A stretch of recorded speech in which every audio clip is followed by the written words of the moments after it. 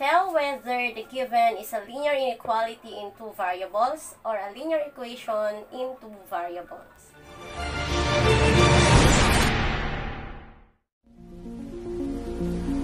Good day everyone! Welcome to my learning channel, Sir Fox Learning Channel.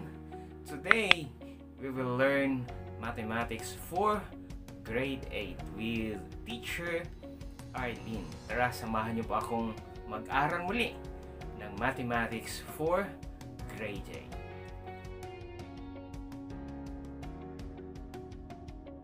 Good morning, learners! We're done with the first quarter and today we're going to start with the second quarter.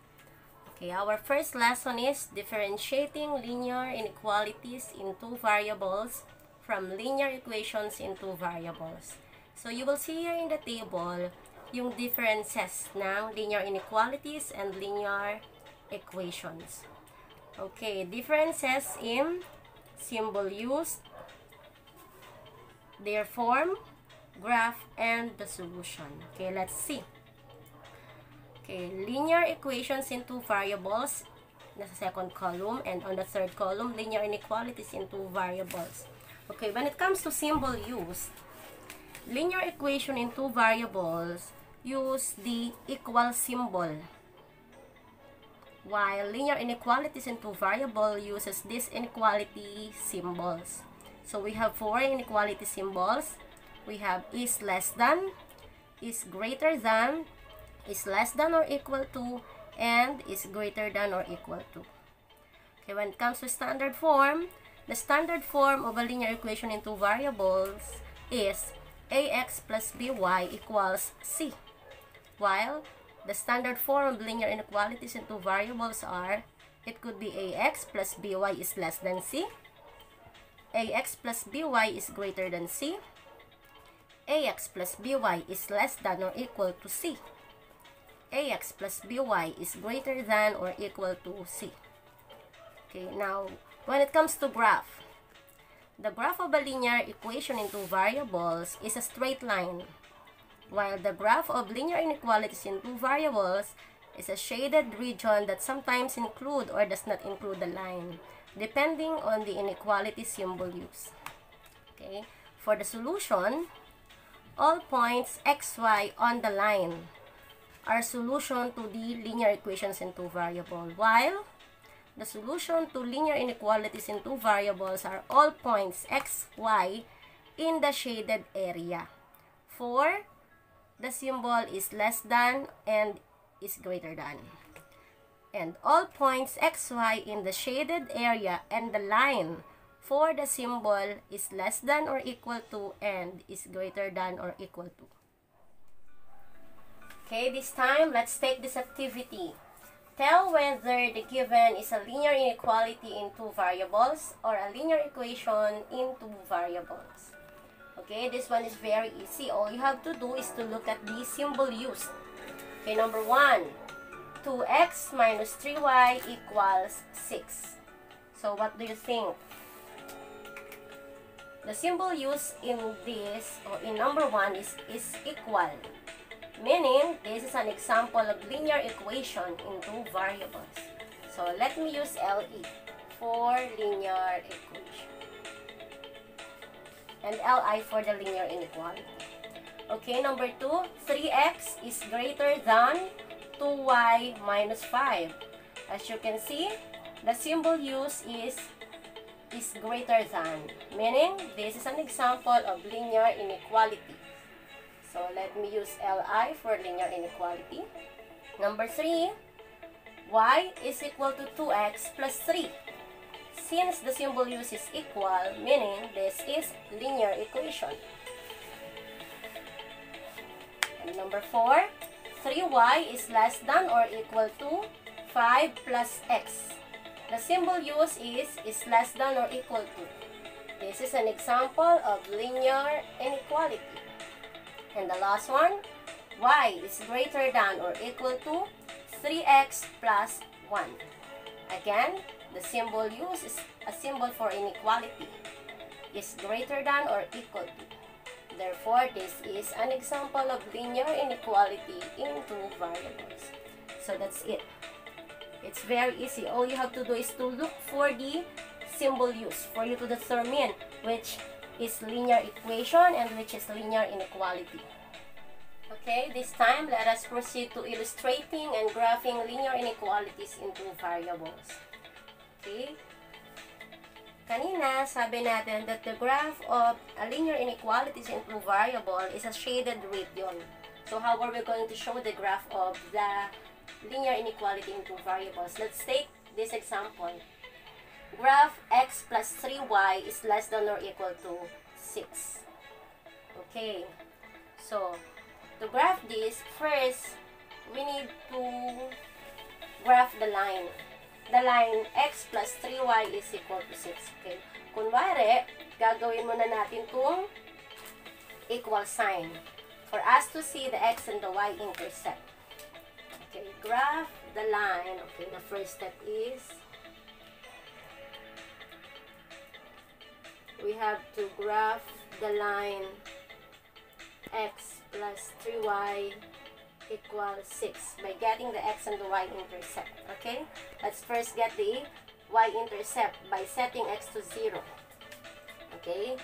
If x is 0, we have 0 plus 3y equals 6. So we have here 3y equals 6. Multiply both sides of the equation by the reciprocal of the numerical coefficient of 3 here of y, which is one third. The numerical coefficient of y is 3. Reciprocal of that is one third. Okay, so we have here y is equal to 6 over 3 or 2. Meaning the y-intercept is 2. Now, let's get this sign, the x-intercept. We will set y to 0. This time, if y is 0, we have x plus 3 times 0 equals 6. But 3 times 0 is 0. So we have x is equal to 6. Okay, and all we have to do is to graph the x and oh, plot the x and the y-intercept. X-intercept is 6. So we have here 1, 2, 3, 4, 5, 6. So here it is. Just extend it. And then y is 2. Okay, we're going to connect the two points and that will serve as the graph of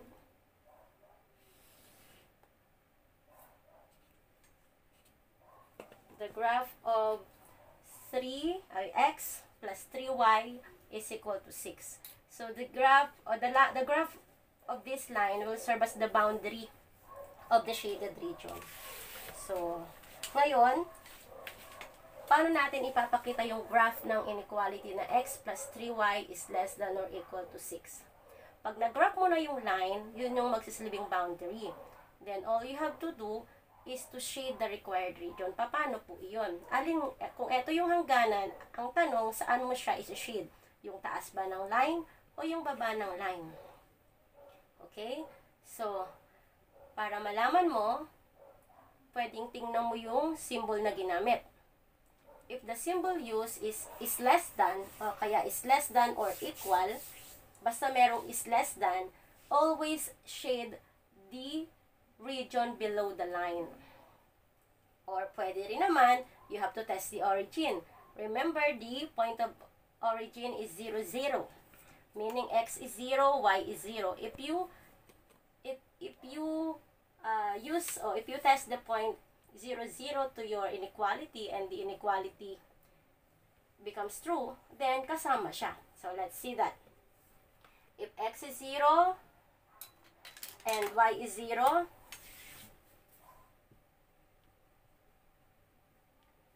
okay, x is 0 and y is 0, will that be less than or equal to 6? 0 plus 3 times 0 is 0.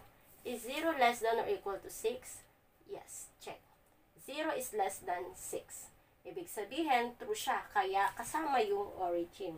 Or kahit hindi natin gawin yon, sabi ko nga kanina, all you have to do is to look at the symbol used. The symbol is is less than or equal to. Okay, ibig sabihin, sa baba ng line ang iyong kukulayan. So, let's do that.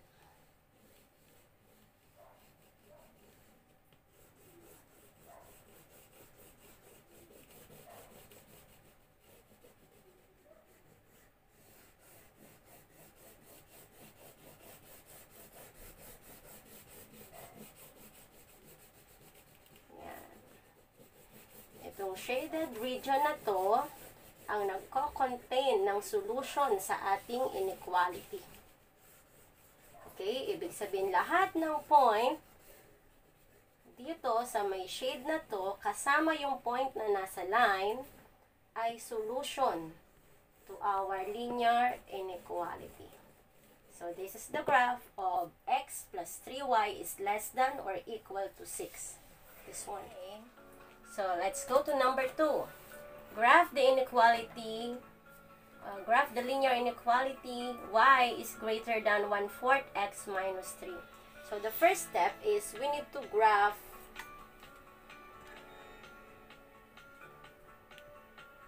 the line y is equal to 1 fourth x minus 3.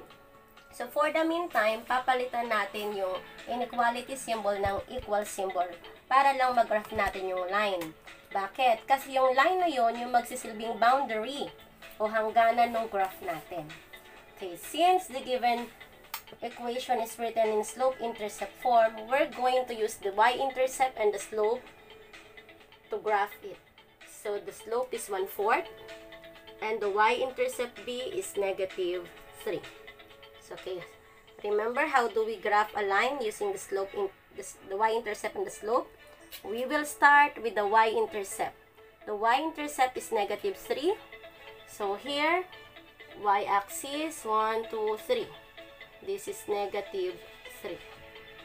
And then, from this point, we need to rise one unit and we need to run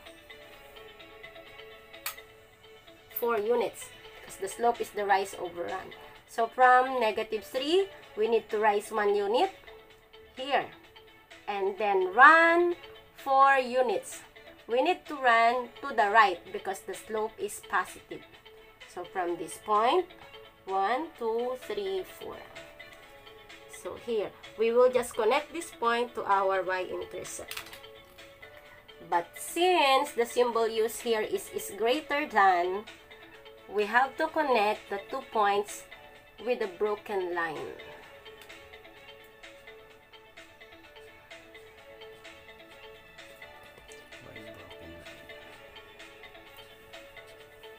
Meaning this time, the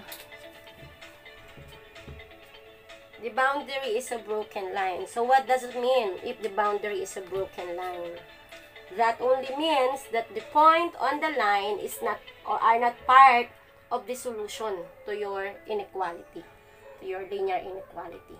Unlike kapag, kapag solid yung line, lahat ng point na nasa line mismo kasama sa solution. Kapag broken, hindi kasama sa solution. Okay, so we have grabbed the boundary. This time, alamin natin alin ang ating isi-shade, yung upper portion o yung lower portion. So, look at the inequality again. The inequality is, is greater than. So, great, ibig sabihin, sa taas. Kapag ka less than, yung baba ang ating isi-shade. Okay, so let us shade the upper portion. You may use crayons also in graphing linear inequalities.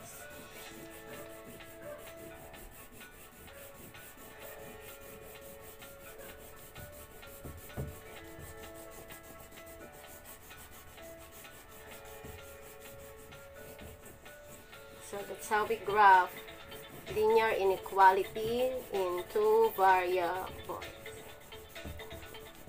So this shaded region represent the graph of the inequality y is greater than 1 fourth x minus 3.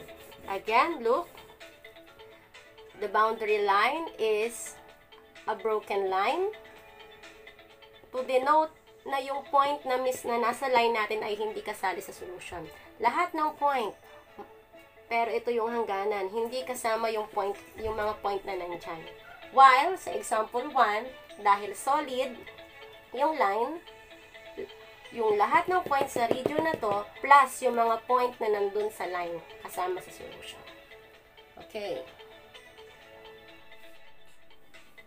Okay, these are the things you have to remember in graphing linear inequalities in two variables.